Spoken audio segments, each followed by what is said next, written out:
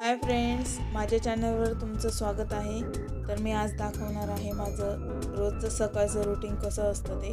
मी उठल्यावर फ्रेश झाले आणि त्यानंतर मी चपात्याचं पीठ मळलं चहा वगैरे घेतला आणि चपात्या करायला घेतल्या. तोपर्यंत तेजस आणि तथागत उठलेच होते.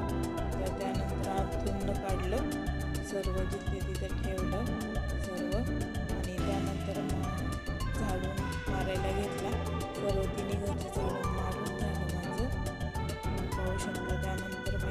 स्वतः पुसायला घेतली मी सकाळी उठल्याच्या नंतर टाईमपास करत पण नाही आणि आपले कामंसुद्धा लवकर होतात आपण इकडे तिकडे वेळ कुठेही घातला नाही तर आणि त्यानंतर घेतला नाश्त्याला पोहे करायला त्यानंतर मी तेल घेतले आणि जिरे आणि मोहरीची फोडणी दिली.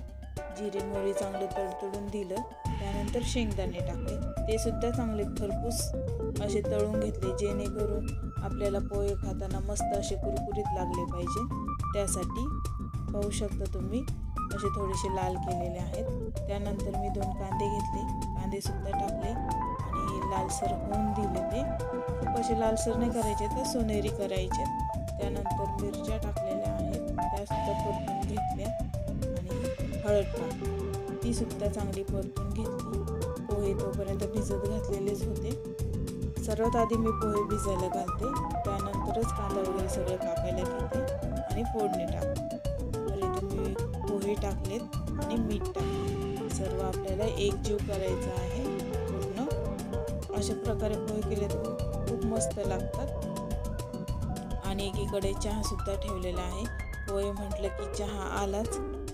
आमच्या घरात पोहे केले की त्यासोबत चहासुद्धा लागतो. त्यासाठी पाहू शकता पोहे किती मस्त असे झालेले आहेत. त्यानंतर मग सर्वजण नाश्ता करायला बसले तेजस तथागत तथागत तेजसचे पप्पा. आम्ही सर्वांनी नाश्ता केला. मी सुद्धा केला. त्यानंतर मग कपडे आणि भांडे करून घेतले. आणि वाळतसुद्धा घातलेत. तथागतनी धरलेली आहे ही. कपड्याचं स्टँड आहे हे. हे खूप छान स्टँड आहे. कपडेसुद्धा वाळतात मस्तपैकी. असं खाली हे करायचं आहे. दोरी निवडायचं. खूप मस्त आहे. पाहू शकता तुम्ही. कसा वाटला व्हिडिओ नक्की लाईक करा शेअर करा आणि कमेंट करा. व्हिडिओ